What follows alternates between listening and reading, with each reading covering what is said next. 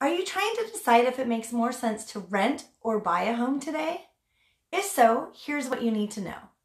Renting and owning are fundamentally different in so many ways. And owning a home has the power to change your life. Take a look at this. The net worth of a homeowner is significantly greater than a renter. On average, a homeowner's net worth is about $300,000. On the other hand, a renter's net worth is about $8,000. Let that sink in for a moment.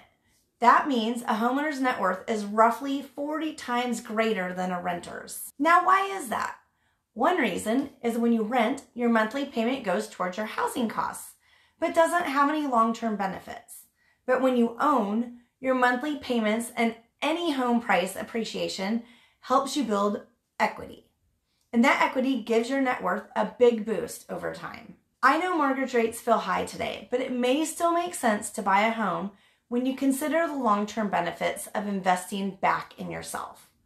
Let's connect to go over the real impact of homeownership.